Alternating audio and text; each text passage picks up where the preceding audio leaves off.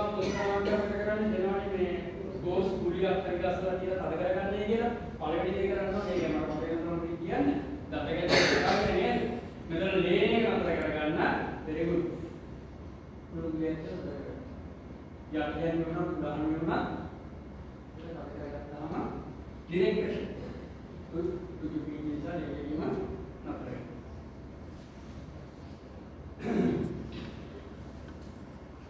හිතන්නකො දැන් ඔය වගේ අවස්ථාවකදී මිනිස්සු දුවනවා දුවලා ගිහිල්ලා එක එකන හැප්පෙනවා මූණට මූණ හැප්පිලා එකිනෙකගේ නහයින් ලේ වැක්කේ. මොකද කරන්නේ? දැන් ඔය පුටු වල ඉඳගෙනම හදිස්සිය තමන්ගේ නහයින් ලේ එනවා නම් තමන් කොහොමද ඉන්නේ බිම වාඩිලා කොහොමද මූණ තියාගන්නේ? ලේ වැක්කේනවා මෙහෙම තියාගන්න තමන්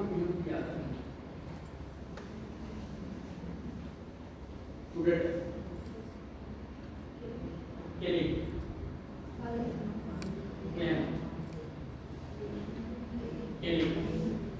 ऑल लेयर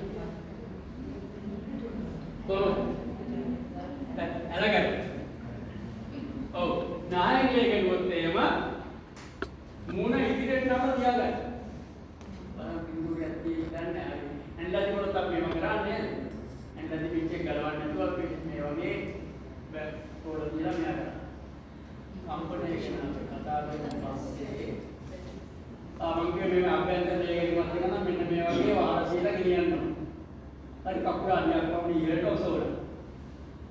ආ නාසයෙන් දෙන්න. ඉතින් නාසයෙන් දෙය ගන්නකොට මුණ ඉදිරියට නවරමයි තියාගන්න නාසය තද කරලා මේ බල්ලා ගන්න. එහෙම ඉස්සරහට නාගෙන විනාඩි 5ක් 10ක් විතර මේ බල්ලා අතාරින්න.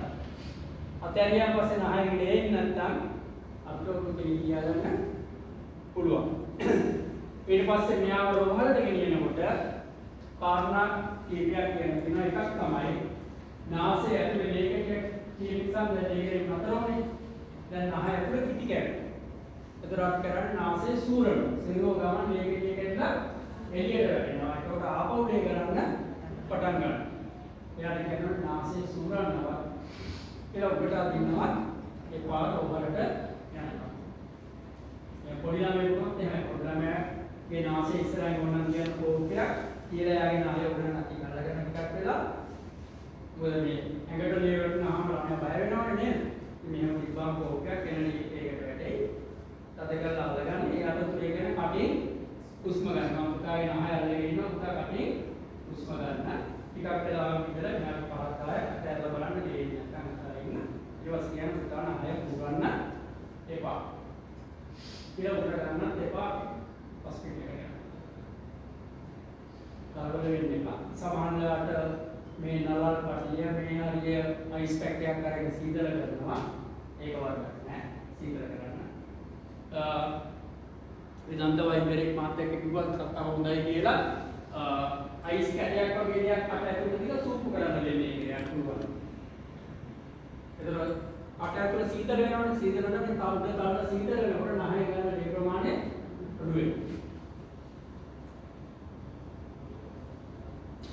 jadi akhirat menang.